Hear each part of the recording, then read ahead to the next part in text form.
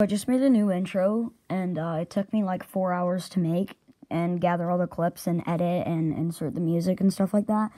So if this doesn't blow up my channel, I'm going to be very mad. And if this video doesn't get 10 likes, I'm going to be very mad because this intro is absurd. It is very good in my opinion, so I worked really hard. And um, shout out to these people. They helped me make the intro. And uh, yeah, let's just look at the intro